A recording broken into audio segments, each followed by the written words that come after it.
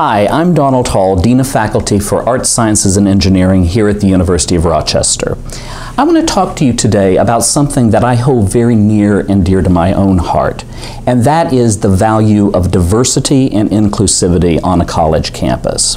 We live in a remarkably diverse world, and we need to embrace that diversity here on university campuses like the University of Rochester. I know personally what it's like to feel different. As a gay kid growing up in the segregated South, I often felt excluded from majority culture. I never want our students to feel that way.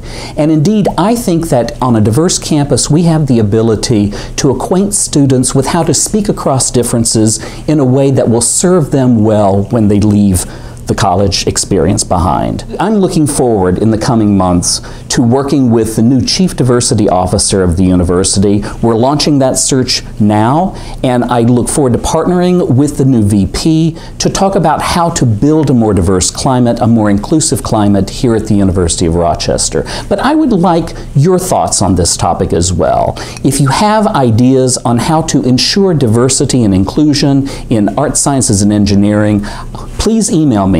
I'm at asedean at rochester.edu because nothing is more important than making sure that our students feel welcome, our faculty feel welcome, and that they are poised to change the world around us. Thank you.